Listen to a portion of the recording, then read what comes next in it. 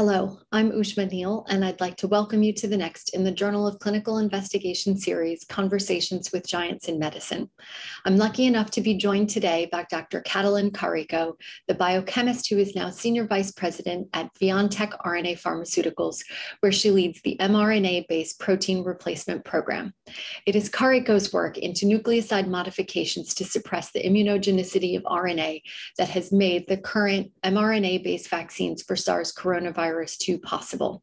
It's been estimated that in the first six months of 2021, these vaccines have saved 280,000 lives in the US alone and prevented more than a million hospitalizations. Thank you so much for joining us today, Dr. Karikó. You are welcome. You so, are can welcome. you can you start by telling me a little bit about your family and what you were like as a child? Oh, um, I grew up in Hungary, a small town. 10,000 people were there. And um, uh, my father was butcher and my mother was a bookkeeper and we lived in a very simple home. Uh, of course, we had uh, all of the happiness, and I didn't know how many things we didn't have because other neighbors didn't have. So, you know, running waters and uh, uh television set or refrigerator for for water. We went to the middle of the street, and kind of the there was the chat room, you know, then you learn everything what is going on in the city. So it was fun and it was a very, very happy childhood I have. What were you like as a kid? Were you good at school? Were you into athletics? Were you into math and science? Um, where were you? Where did your interests lie? As a little child, uh, I was learned from my parents that I like to watch my father when you know he processed the pig, cut it up, and then I was interested to look inside. I don't remember that, but they said that I, was always there. And whereas my older sister, who's three years older, and my mother usually, you know, inside the house, they didn't want to see that part. But I was interested things and in a school I studied well. I was not this uh, super brilliant, but um, in a seven and seven and eighth grade, I was already competing in biology. And, um, and when I was 14, I was uh, third best in Hungary, in the country. and um, I, I, knew the uh, names of the plants. I love plants. And when I went to the university, actually, I also mentioned that I want to work with plants. And then everybody was said that, oh, that's so boring. but I love plants. yeah, I like so you ended up at the Biological Research Center of the Hungarian Academy of Sciences for doing your PhD with Jenő Tamás. I hope I'm pronouncing that correctly. So as an undergraduate, actually, I worked with uh, lipids. Again, something everybody thought that this was boring. and um, and one day just he walked in and then he had this RNA lab. So he's, he knew that I am finishing up my bachelor, and then so I went there. And then in 1978, he described that um, uh, 77 was just discovered this 2 prime 5 prime oligonucleotide. And uh, Ian Kerr in uh, um, uh, Imperial College of London, he discovered. And it was thought that the um, inter interferon-induced antiviral mechanism is actually mediated by this small molecule.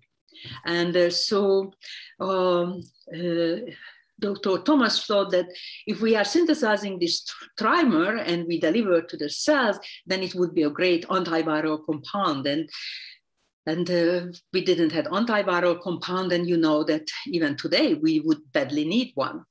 And uh, so we synthesize um, enzymatically, synthesize uh, chemically, and um, it was actually an organic chemistry lab. And my colleagues were organic chemists, and I was the biologist, set it up the assay to check out for the antiviral effect. And uh, we could deliver um, effectively, but uh, the method, uh, it was like calcium phosphate co-precipitation or osmotic shock, something you can use on the cell and they survive, but not uh, applicable for medical use. So we run out of uh, support uh, for Hungarian pharmaceutical company, and I had to find um, another position. And, and of course, I was looking for uh, scientists who were work on that field. And there were like, uh, I tried to apply for a job in Ian Care Lab in London and one in Madrid and Carrasco and and uh, also in uh, France in Montpellier. But I couldn't bring the money. This was 1985. And finally, I ended up in Philadelphia, Temple University, where Professor Suhadolnik also were interested in this uh, small uh, trimer, 2 prime 5 prime A molecule, molecule and um, and I, I already uh, used an assay he wanted to establish in his laboratory, so he invited me to come over in the US.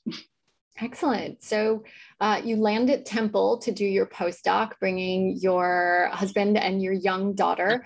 Um, so tell us a little bit more about that project. Is using double-stranded RNA as a therapeutic. So this was the kind of logical extension. Uh, so we first tried to do this uh, similar what we have done in Hungary, so using this uh, 2 prime 5 prime link as an antiviral, but it uh, didn't work well. But we had all of the assay to how to measure the interferon effect, the 2 prime 5 prime synthase, the other things. So when Hahnemann University at now it is not existing anymore, but um, they had uh, run a clinical trial where they use a mismatched double-stranded RNA to treat uh, HIV patient. We are talking about here 1986, 87. And uh, that time, you know, an HIV infection meant that uh, a death sentence. And um, the idea was that uh, double-stranded RNA could induce interferon. Of course, at that time, 80, 86, we didn't know how just it was well established in 1963. Isaac uh, demonstrated that double-stranded RNA induces interferon, and interferon interferes with viral replication. And um, so it was already 70s they tried to use double-stranded RNA actually against influenza uh, in uh, France, but uh, it was toxic. So here at Hahnemann, scientists developed an assay where it was mismatched double-stranded RNA, so it was not as toxic. Later, it turned out that it activated TOR3, but at that time it was not known. And uh, patients were treated, it IV injected quite a high dose, but uh, it turned out that it was not helping the HIV patient because they, the uh, virus has a effect that uh, the interferon is not functioning well in, in their body. So, but we, we tried and, uh, you know, as in Hungary, I did in assays the antiviral activity. I could see now that what can be done in in patient, and that was first clinical trial with RNA. Actually, I participated and we published in Lancet. Very exciting. So you transitioned from that postdoc to a different one at the Uniformed Armed Services University of the Health Sciences. So um, why transition off of such an exciting process? And then what did you do at your other postdoc? Yes so uh, uh, so I, I lost my job in at Tampa, and um, so I had to go somewhere and I ended up at the Uniform Service University of Health Sciences uh, quite long name. And uh, actually, it had to be a reason because in 88, I started there. In 89, one day, um, a fellow who previously worked in this lab walked in and he said that, oh, we are having this uh, uh, lipofectin and um, can deliver nucleic acid inside the cell. And uh, is anybody can try it? And in Hungary, before I started with working with uh, the 25A molecule, I was working with the lipid, and we did actually liposome, and in, in the end of uh, uh, 70s, and we delivered uh, plasmid to mammalian cells and demonstrated that uh, liposome, it was a, a large unilamellar liposome, we could deliver DNA. And so I thought that, oh, that's that's what I need. This uh, simple because this film method is was quite complicated to deliver with and make liposome. And so I took the uh, lipofectin the, and then I tested out there in the DNA. And um, I was commuted to uh, Bethesda, so uh, when I came back to Philadelphia for a job here in uh, University of Pennsylvania, I already uh, wanted to use this uh, uh, lipofectin with messenger RNA because while I was working with the small molecules, you know, that um, the field advanced so that um, already um, messenger RNA could be made in from in, in, in vitro in a tube. uh, thanks to um, uh, scientists at uh, Harvard University. Um, and so we could um, make RNA as we like. Where was PCR was already PCR machine was already available in '89, and so everything it came together and uh, and uh, mm, actually uh, Paul Krieg, who also with uh, Douglas Melton, they developed, you know, the T7 RNA polymer, SP6 RNA polymerase for in vitro transcription. They were very kind, and um, Paul Krieg sent me the plasmid. And uh, at that time, it was just put in an envelope. There were no MTA was signed. It was just, you know, the beginning, and everybody was just so supportive. And I am so grateful to them uh, what they have done. And so I came to Penn and um, Elliot Barnett, and a cardiologist who had a NIH funding, he hired me, and the position was research assistant professor because research it, it was a clinical department, and for PhDs it cannot be a tenure tech position. But Elliot uh, expected that um, I will get my own funding, and he works in the clinic, and we will work together. We were, and Elliot is just eight days uh, younger than me, so we were the same age. And then, uh, so we started to make uh, mRNA, you know, use the mRNA therapy. And your target was the urokinase receptor, right, for being yeah. able to improve blood vessel transplants? Uh, it was um, first that um, we try to, uh, that was the main interest to understand the role because uh, coagulation and uh, urokinase was introduced and used for as a, and tissue plasminogen activator and urokinase plasminogen activator for cutting blood clot if somebody gets a, a blood clot form in the blood vessels. And we try to understand the function of this receptor. And it was just cloned so i just based on that information i also made the construct and generated rna and um, and then we could um, use this messenger rna delivered to the cell. And um, the receptor is highly post-translational modified. There are glycosylation, the GPI linked to the uh, membrane, so it processes uh, quite uh, heavily, and, and all of this modification is needed to be functional.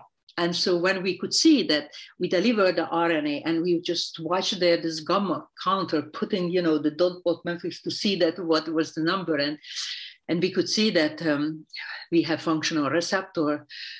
We knew that it would be good for something. And um, of course, it was ex vivo. So first thought was that um, oh, we might deliver um, other, other uh, uh, RNA like coding for uh, telomerase with a with a guide RNA and then maybe uh, deliver to bone marrow and um, and then so if we put it there maybe that uh, it can be given more people because the cell can proliferate uh, more and, and maybe older people can give uh, also bone marrow because then you know the lifespan of the uh, cells would be increased. And um, so that was um, uh, the kind of uh, thinking. And then we tried for a different kind of mRNA, what we made is just to understand the, the function of, uh, of the protein so that we used made RNA because with PCR and TA cloning, that was the beginning. And, um, and then we could uh, generate like uh, two hours and you got get the RNA. And of course, everything started to improve. We get better cap part and uh, we put polyate there because the enzyme will, became available and then we get more and more protein. And so you're riding this wave of success and he decides to leave for Centocor. So you have to scramble and you land in uh, the lab of a neurosurgeon who's now a Netflix star, um, David Langer. Um, so, what were you working on with Dr. Langer? I met uh, David Langer in uh, Elliot's lab, Elliot Barnathan's lab. He was a medical student at that time. And when I lost uh, support because Elliot went to Centocor, then um, uh, David uh, convinced, he was a, resident actually at neurosurgery, convinced the chairman that uh, neurosurgery needs a molecular biologist and we should, you know, an expert, we can go and understand the novel things. And so I got from neurosurgery, I got uh, my first lab. I stayed there 17 years, did all of the RNA work there and, um, and get uh, financial support. So I got a salary. And, um, and uh, so with David, um, you know, we focused on stroke and um, and there is, you know, the subarachnoid hemorrhage when uh, the bleeding occurs in the brain it was known that the major blood vessel two days later is uh, constrict and then uh, blood flow will stop. And uh, so David thought that, you know, he could reach that area, the major blood vessel with uh, uh, his knowledge and devices and um, and then if we would uh, deliver their uh, nitric oxide synthase mRNA, then it, uh, the protein would be locally made and release uh, nitric oxide, which has a couple of millisecond half-life, but then would have the locally the blood vessel to dilate. So we did the RNA, and when I delivered to culture cells, you know, it was working very well. A lot of uh, nitric oxide, we could measure it and we tried to use an animal model. And we had in a campus were uh, pig model with cranial window. And we looked at you know through the glass to see that how the blood vessel change but you know it was constantly changed even you didn't edit anything. So the baseline was very uh, highly variable. Then we went to chicago because um, uh, uh, McDonald's had their uh, a big uh, uh laboratory and they had isolated uh, model, blood vessel model. They could measure dilation. But that time we were there, it didn't work. So then I went again, you know, carrying under my arm the uh, messenger RNA, flying to Buffalo, and here the, there is a Toshiba Stroke Center, and with a colleague John German, we injected rabbits and then he spliced them up, tried to see the brain, whether we see dilation. So we did a lot of, lot of effort. Nothing was published because we couldn't reliable demonstrate uh, that um, blood dilatation occurs. so, so that's what we were doing and have a lot of fun, learned a lot so that in the meantime the rna gets better and better and we always thought that if we revisit certain things then we now we will see the results so that's what you know the constant improvement of the technology kept us you know moving forward so after a while, both uh, Langer and the chair of neurosurgery left Penn. That left you a little bit listless. So Tell me about um, how you came to know Drew Weissman and moved into the next chapter of your story. Yes, um, so actually David was still there, but uh, they were already planning to go to New York. And um, uh, I just still kept going back to my old friends to the Department of Medicine. Now I was in Department of Neurosurgery. It's a different building and and whatnot. But I knew everybody there, and then I could see this new guy. And I used also the Xerox machine. Maybe they, uh, you know, forgive me now that I use the other department Xerox machine, but copying, uh, you know, papers. Uh, and um, I have seen uh, uh, Drew Weissman there. I haven't seen him before, and he was a new guy. It was 1997. He just came, and so you know, I introduced myself because I thought that I am home and he's the new one. And so uh, he told me that um, he just came from Fauci's lab uh, and uh, he want to develop uh, HIV vaccine, which could be maybe therapeutic or prophylactic. And um, he's working with dendritic cells. I acknowledge I um, uh, or, or, I admit that I did not know. I dendritic isodendrite, maybe some kind of neuronal cell, but you know, turn out that this is the most important uh, immune cells.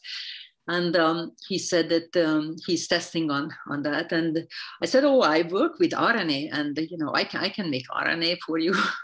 and of course, it's not surprising because I offered many scientists at, at campus, and maybe they have in their freezer somewhere, they put it there because I was, you know, okay, she wanted and pushed it.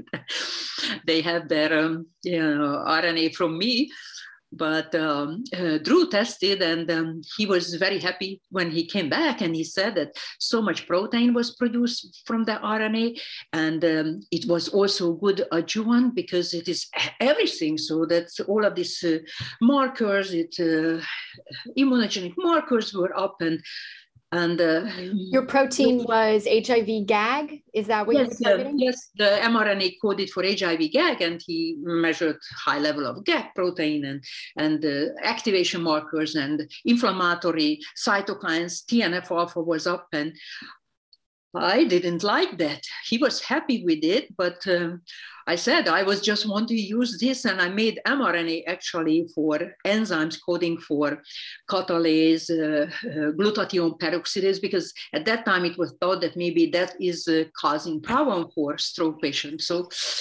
Uh, I, I don't want to deliver an RNA which causes such problems. So um, I didn't even know that uh, what could be activated. I thought that my RNA, what I am making, is the same as inside the cell. So one was that why it is, this is a single-stranded RNA, why it would be activated. And the other is that uh, what can I do? Now 10 years I spent trying to make a therapeutic uh, protein encoding RNA and uh, all of this work is just kind of useless. And um, and uh, so our thought was it was maybe 2000 one, two. At that time, it was known TOL3. 2001, we know that TOL3 activated by double-stranded RNA and and TOL9 was uh, DNA and was thought maybe that um, maybe that uh, single-stranded RNA, some other TOL receptor is activated. So we made all of the overexpressing cells. Uh, by that time, we we found that TOL7 and TOL8, the paper just came out, and um, confirmed. So we were happy that it was confirmed that we are uh, identified the right uh, right um, target. And then was the question is that so what should we do now that um, making the RNA can we make it non-immunogenic? And so in um, uh, isolating back different uh, RNA from cells, you know, we found that um, tRNA was uh, not immunogenic and gave the idea that uh, maybe modification is important, nucleoside modification. As I mentioned, this was already known from TOL9 that the DNA has one modification, methylation on the C, and um, the cytidine, and then it is already suppressing immune activation. And we thought that one of the more than 100 modification may be acting similarly for RNA. But can I uh, ask you, um, how did you figure that out? Was tRNA just one of your controls? Was that an inspired choice? Like, was it serendipity? How did you come across that?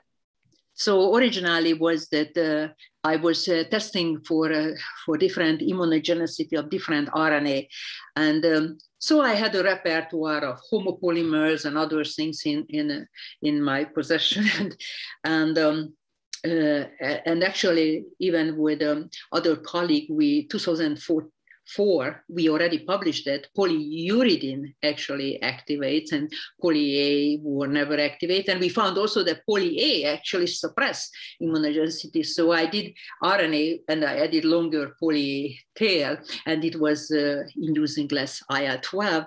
And um, in some of those experiments, I added uh, tRNA as a control because I had in the it in my collection.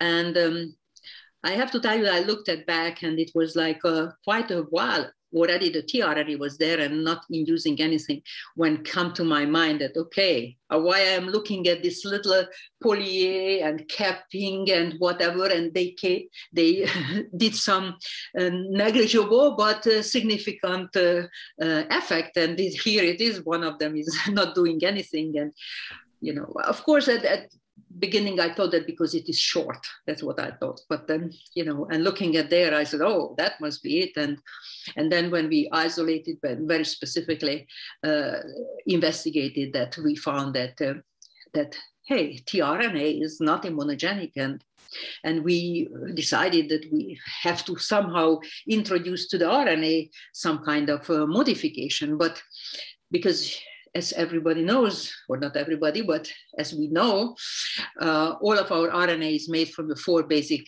nucleotides.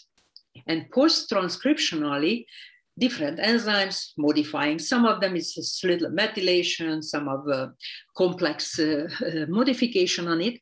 And um, what are those enzymes? Uh, 2002 was not known, not mentioning the commercial available to buy it and just change it. And um, so actually I call up my Hungarian friend, uh, Tamás Kis, and he was in Toulouse and they, he had discovered how the ribosomal RNA gets 2' methylation and pseudouridylation. And I told, uh, told the phone, Tamás, please send me some enzyme. I have to introduce modification. And he said, oh, that's not that simple. It is sequence dependent. You need, and then not just one enzyme. And anyway, so so I thought that, okay, maybe we have to incorporate and maybe crossing fingers that maybe T7 RNA polymerase will accept if we have a, a triphosphate, which is, has a nucleoside modification. And uh, so uh, I ordered only uh, those which is naturally present in our body because in 1993 I was reading about the phyalurидin fiasco when um, five volunteers died from the 15 who participated in a NIH clinical trial. And uh, I knew that um, in that case, even in monkeys, the phyalurидin was not toxic. And they couldn't understand that why for quite a long time, why it is that thousand times higher dose and nothing happened, and why only human is uh, toxic, that uh, nucleoside analog. And turn out um, in um, uh, 2006, I think they published that uh, human has um, um uh, equilibrative uh, uh, nucleoside transporter, which in the middle of the coding sequence has a mitochondrial localization signal. So if you add to the cell um, uh, some analog, it will pump into the mitochondria. And then if it is not natural, you know, it, it will go through and then it, uh, uh, those people died of acidosis because they lost their mitochondria. So I was insisting that only whatever is in the human body, because then the human body would know how to discard. And so that's why we made all of these different you know, purchased 10, 10 different nucleotide triphosphate, which was modified nucleosides, and, and five of them incorporated. And three of them were uridine containing, and all of the uridine containing, which had modified uridine, is were not immunogenic. And one of them was not translated, the 2-thio, no protein was made. And um, from uh, 5-methyl, it was the same as uridine and pseudouridine, when contained pseudouridine, not, in, not only that it was not immunogenic, but we get 10 times more protein. And we repeat it in primary cells and we still get so much protein. As it turned out that um, stability is one reason. So if you have a pseudouridine, like you have a stem loop and the loop has a pseudouridine present, the stem is already uh, uh, sticking be better. So it was, stability was increased. So you get to pseudouridine. Do you then, and you see this um, massive increase in protein and no mm-hmm. immunogenicity? Is there champagne? Is there confetti no. cannons? Are you celebrating? No, because then immediately we were thinking that, uh, you know, we have to see in vivo, we have to, and, and uh, during when we were doing this, we also realized that when we make RNA in vitro, and we already had toll-like TOL3 receptor overexpressing cells, and we could see that our isolates had double-stranded RNA. And then we get the double-stranded RNA specific antibody and recognize, yes, we have double-stranded RNA, and we thought that this is not good enough.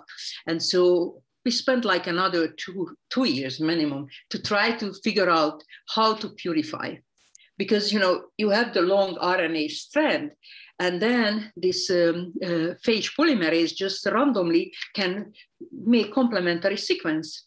And so if you purify by cap binding or oligo-DT um, using this, you still co-purify the contaminant, the double-stranded RNA. So it had to be melted. The two strands had to come apart. And of course, urea was uh, the favorite one. Then you would see us already urea everywhere. You know, it was crystal was sticking everywhere because we tried to uh, take apart the strands and then try to isolate back and uh, did many things. And uh, Drew Weissman, who worked with patient and um, HIV patient, and when he coming from the clinic, he stopped by in my lab. There was HPLC machine and took out another column. And because during the night he was thinking and reading and try out other things. So eventually we could purify and we could show that it was very significantly improvement we get translation. And then after that, we want to see that can, can we have enough uh, protein made from this RNA inside the body, like an animal, which would be functional and we could measure it. And so we established the company um, uh, 2006 and uh, wrote a, a, business plan uh, the company's name RNARX, and we are talking Moderna and not RNARX because we didn't get uh, the patent for our uh, company. And um, so, but we did a messenger RNA coding for uh, murine erythropoietin, and we delivered very small amount, 0.1 microgram RNA into an animal. And that was sufficient to increase their hematocrit. And so the, and we also measured when we injected higher dose that when U, containing RNA was injected, we could see less protein was made, more in, and there were interferon, whereas when we did the uh, pseudouridine containing, no interferon was detectable when we injected high dose, and in low dose, it was sufficient to increase the hematocrit. And weekly injection, we could maintain the hematocrit at high, so we knew that the RNA is translating to a functional protein without inducing any immune effect. And we are in 2012 now. So, are you just absolutely puzzled that nobody else is rushing in and having champagne together with you. I mean, this is like groundbreaking stuff that you're able to accomplish. Was that um, frustrating or puzzling or both?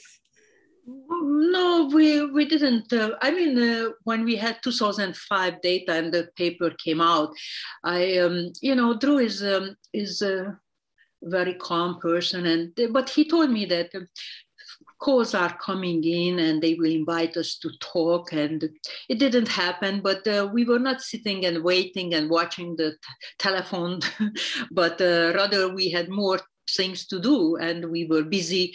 We always could see that okay we could improve that and and for example after all of this uh, uh, data i just mentioned you know it was animal data that you know comes that uh, uh the lipid nanoparticle that we need a shelf life for the product and then you know started to work on that. And then we came back to to the vaccine project because and so so there were always so many things that we we should do better improve and uh, and uh, so we were not and not a celebratory kind of uh, people we are. And we we we knew that it was it was good and uh, it um, it will be of course it's never wildest dream. We thought that it will be you know a pandemic and then it will be millions of millions of people will be injected with a nucleoside modified rna but as we were learned today also that uh, even now that sanofi decided that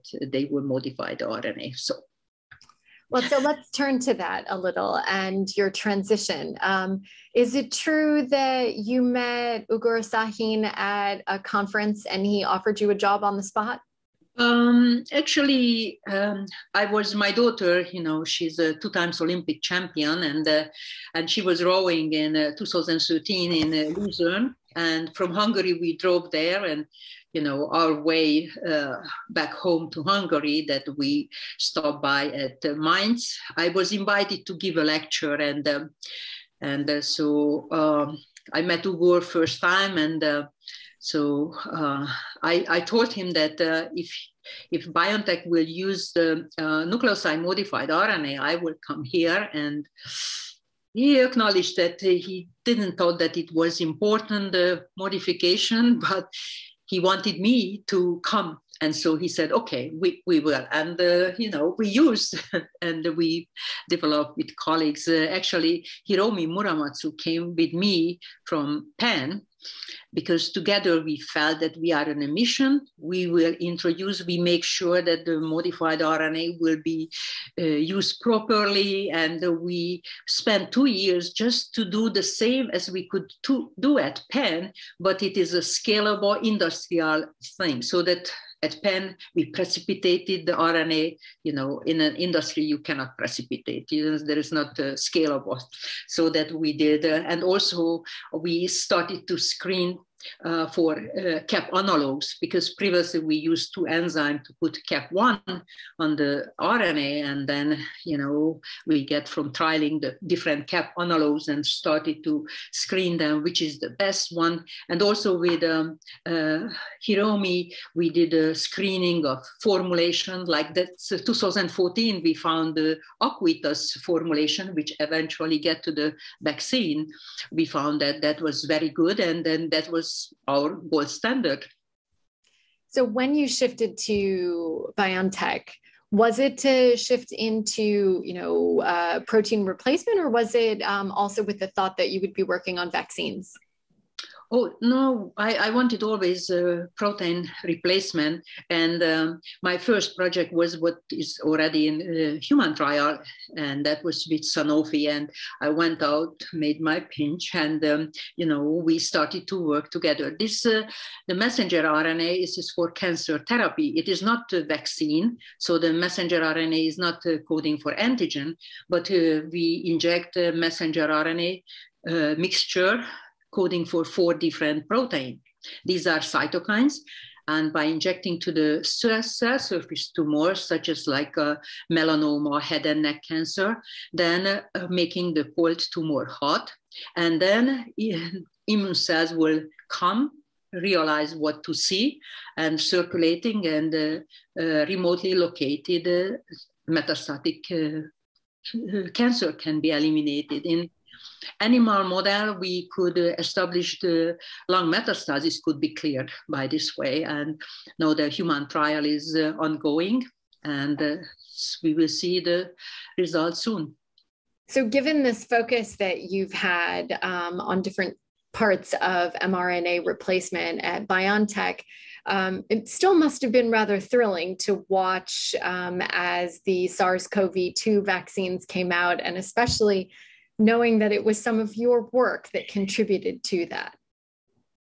Yes, indeed. So first of all, as I mentioned, the lipid nanoparticle, we went there and we, whoever could make any kind of formulation, we just sent out the RNA and they sent it back and we just screened that how good we injected different, and then we provided data to the collaborators. But uh, we already found that the, the Acuitas formulation LNP was so potent and um, uh, the backbones of the uh, construct also my team was working to optimize uh, from TriLink, uh, from a San Diego company, we received the different cap analogs and we started to screen. My team was screening that which is the best. And so uh, many part which eventually ended up in the in the vaccine, you know, those were uh, hard work we did uh, there also at uh, BioNTech, and my colleagues uh, contributed to it greatly. And uh, so, um, of course, it was very exciting and and uh, to find out that the modification is also very important. And I kind of expected, based on the prior data from animal studies, which um, was surprising. I have to say that when we found that uh, in the case of Zika uh, virus, that a small amount, almost the same amount which was protecting uh, mice, was sufficient for a monkey, which is a larger animal. Previously, when the DNA vaccine were used, what was surprising is that unproportionally you had to increase the amount. So it's not even just that it was something two or 10 times larger animal, you have to unproportionately even more had to be injected. And that was like uh, from the DNA vaccine was already milligrams injected in human. But here, even even for the corona, uh, my colleague uh, um, uh, Norbert Pardi published 30 microgram was protecting the single injection 30 microgram protecting the mice. And if you get a, a Pfizer, BioNTech Pfizer vaccine, it is also 30 microgram RNA in it. So same enough for a mouse and a human. So I also wanted to just ask you about personal gratification. I mean, around seeing just how many lives that have been saved and hospitalizations prevented based on your work that's got to be massively gratifying i'm i was uh, recently received actually an uh, email from uh, meadowbrook uh, uh, retirement um, uh, elderly care center and they described that the one week after i received on the received the vaccine their residents also received. And one week after that, only just after one vaccine, one week later, there were infections. 70 people were positive, and then nobody died. And then they were so happy because at that time in January was uh, already knew in a previous month that if there is an infection, then then it you cannot you know the elderly home they they usually died and then they were just so happy and in this uh, september 2nd they uh, recognize me responsible because they want to put a face. Of course, they could put all of the hundreds and thousands of scientists, but they said that Kati Karikó's Appreciation Day, and then they were out, and then they had a T-shirt with my picture, and then they took a photo and they sent to me, and I you know nothing nothing can as gratifying that seeing those people that uh, so happy that uh, uh, they they made it and they also send me picture when mother's day they can first uh, uh, first uh, children could visit their parents in the elderly home that the happiness there. And so that kind of personal thing because then when you said hundreds and thousands millions you don't even cannot imagine. But when you see one or two or those people and and you see them then then it uh, touches you. And then say no matter what price you give me nothing can be uh, generate that kind of feeling you know because this is coming from their heart. And i know that uh, I, I feel completely that I was one of the person, you know, that's how I feel. Now, not, I am not making up in just saying here that, oh, I am like that. I, I, I am happy that I am one of the person who have this happen. And just I mentioned, you know, my colleagues in Hungary and who, or my mentors, my teachers, and all of my colleagues here at Penn, Temple, wherever I worked, and, and people who, who came before us, and we rely on their results. And, and uh, of course, my colleagues at BioNTech who work uh, diligently and, and experts and scientists at Pfizer. I mean, I, I was amazed uh, with the big pharma that how they could smoothly run the clinical trial, how they everybody knew what to do. I, I mean, this is so uh, beautiful, and uh, and uh, how they could scale up and uh, make sure the quality control, everything, the highest standard uh, has to be maintained. And, and everybody knew what, what the, their role is and their best to do. So as that's also very gratifying that to know that this is in place. If you could not have been a scientist, what other career do you think could have captivated you over over your life? Oh, that's that's a hard question because yeah, I mean, uh, my father wanted me to be a butcher, but I worked in the butcher shop and we did uh, we did sausage, and I know I know all of these things. So recently they mentioned that instead of sausage, I am doing RNA, but yeah, so uh, you know. Uh, we work also on the field and I, it was also interesting you know put a seed and then you seed. So that um, uh, of course i like always the challenge and i like that you, you never know what to do and so uh, i don't i don't know that uh, Actually, I have here the document in two, in, in I was 16 years old in high school, and it was written that I will be a scientist, and two biology teacher was assigned to me to do help. I, I just uh, they just copied me. This was in a, in uh, in the high school book, which is uh, for the teachers. So not, I have never seen that. So. Um, I, so their predictions know. their predictions came true and we are all the healthier and the better for it. Thank you so much dr karikó for spending this time with us. It was an absolute pleasure to hear more about your life and your thoughts